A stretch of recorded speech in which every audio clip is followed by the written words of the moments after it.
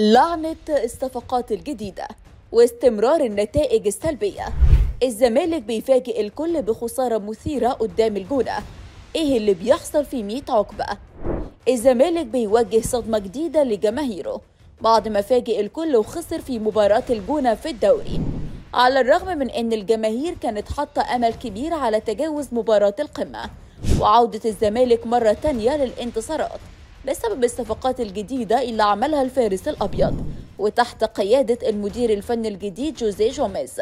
الزمالك تأخر قدام الجونة في المباراة لكن قدر يرجع مرة تانية. مش بس كده لكن كمان تقدم على الجونة في الشوط الثاني وضيع أكتر من فرصة.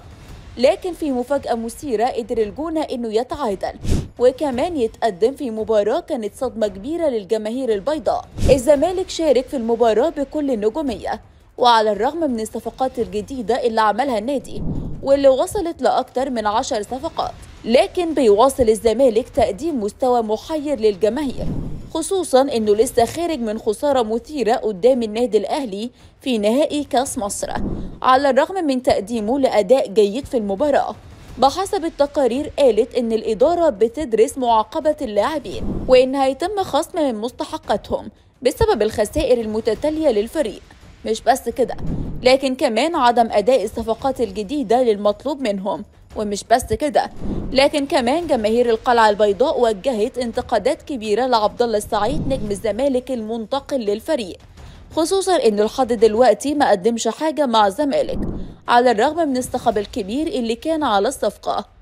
جوميز اتكلم عن المباراة وقال إن مشواره مع الفارس الأبيض لسه طويل وإنه لسه بيتعرف على اللاعبين.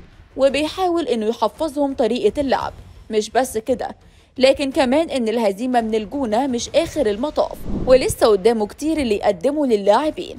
لكن على الجانب التاني بحسب التقارير إن شيكابالا وجه لوم كبير للاعب الزمالك بسبب التفريط في الفوز وده نفس اللي حصل في مباراة القمة. وقال لهم مش كل شوية نلعب وفي الآخر المجهود يروح لازم نكسب. الجماهير بتيجي وعاوزة تشوف الفريق بيكسب. كمان كشفت عدد من التقارير عن مفاجأة مدوية وقالت إن جوميز ناوي يعمل تعديلات على تشكيل الزمالك في المواجهات الجاية وإن هيكون في استبعاد لعبد الله السعيد بسبب عدم تقديمه للمستوى المطلوب.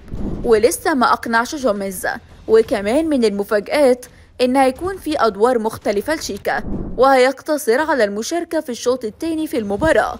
هزيمة الزمالك من الجونة فتحت باب التساؤلات للجماهير وإنه واضح إن في لعنة للصفقات الجديدة على الرغم إن الجماهير كانت بتطالب الإدارة بعمل أكتر من صفقة لتعويض الأزمات اللي دخل فيها الفريق في الفترة اللي فاتت.